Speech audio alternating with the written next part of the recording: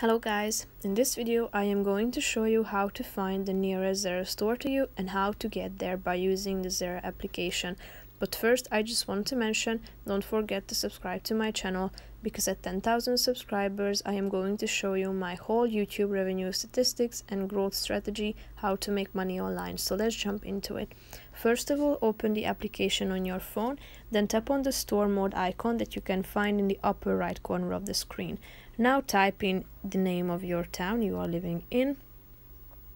And now as you can see there is a result which is the closest Zara store to you. Just so just simply tap on it whether you would like to know how to get there and tap on the icon that you can see in the upper right corner of the screen.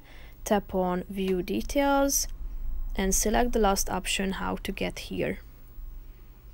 Now there is a map available to you and you can plan your way how to get here.